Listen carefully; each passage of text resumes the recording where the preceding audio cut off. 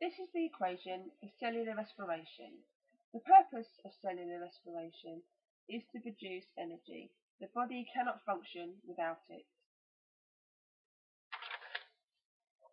The first stage in the process of cellular respiration is glycolysis. Glyco means glucose and lysis means to break down.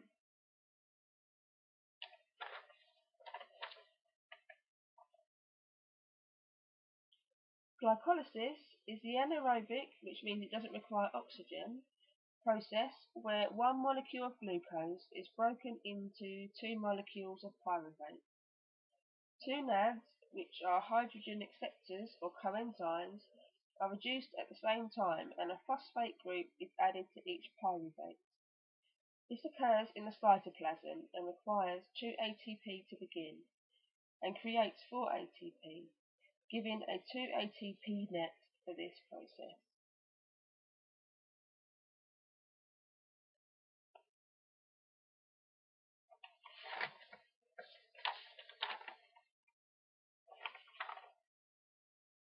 The second stage is the link reaction.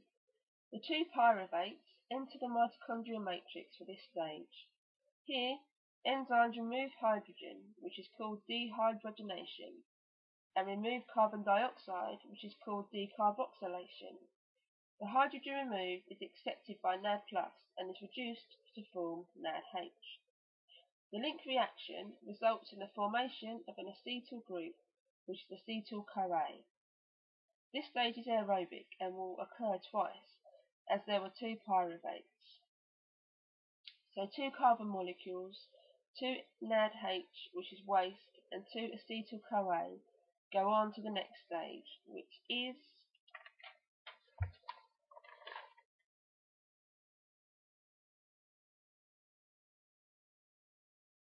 the Krebs cycle.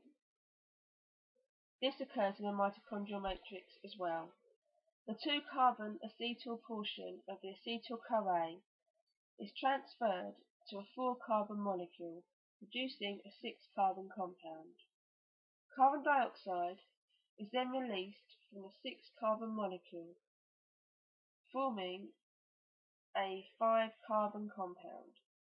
Hydrogen is removed and transferred to NAD to form NADH. Next, a second oxidation and decarboxylation occurs. Again, NADH and carbon dioxide are produced. Also, a molecule of ATP is produced. As a result of these reactions, a four-carbon molecule is further oxidized and hydrogens that are removed are used to form NADH and FADH2. For each glucose molecule, the Krebs cycle must complete two circuits.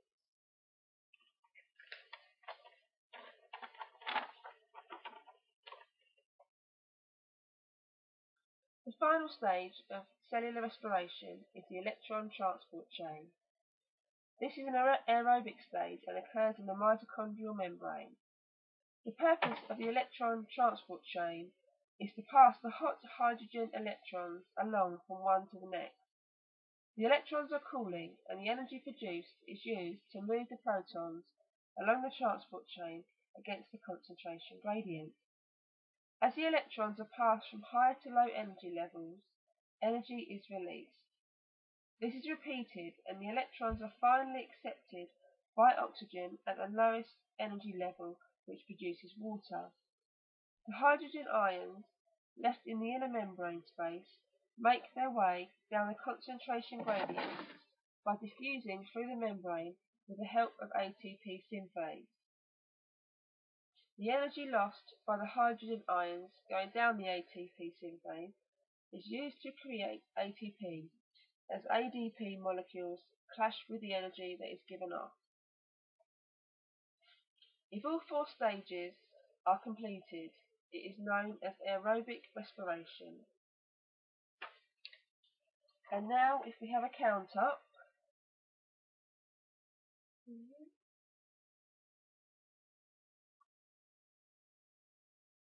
we can see that 10 NADH were produced, and two FADH2 were produced.